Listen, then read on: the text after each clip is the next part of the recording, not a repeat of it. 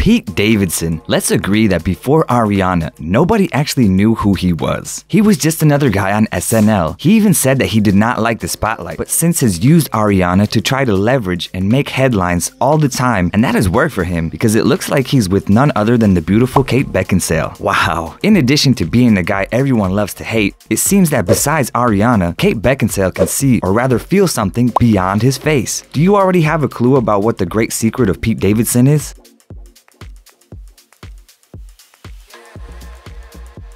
Let's agree that Pete Davidson should kneel down and pray for Ariana every day. It was because of their relationship that his life turned upside down overnight in every way. He even has a song in his name on the Ariana album, not to mention the tattoos they got together. He also received a lot of attention after the death of Mac Miller, since a lot of people wanted to blame Ariana for Mac Miller's depression, and she blocked the comments on the Instagram to avoid all the haters. So the haters changed the target to Pete Davidson after that.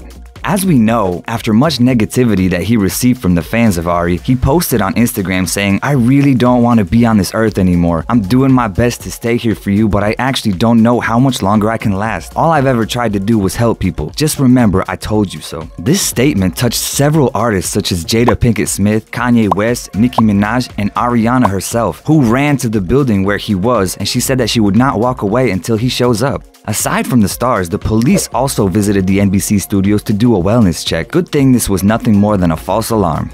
If one of these mentions names has not caught your attention, let's try Kanye West. When Kanye appeared wearing the Make America Great Again cap, Pete Davidson spared no jokes to criticize Kanye and said that he would never be with a guy like that. But now, apparently he and Kanye are best friends after his appearance he made on SNL. So, what is the secret of Pete Davidson? Because obviously, beauty is not his strong side. So, tell us what you think in the comments because Ariana did not say much about ending her engagement to Pete to the media. Instead, she decided to write a song in which she implies that Pete was heartbroken when she cried over Mac Miller. Also, in the Thank You Next music video, she wrote in the diary, I love you always, sorry I did. But what caught the attention of everyone was the word huge.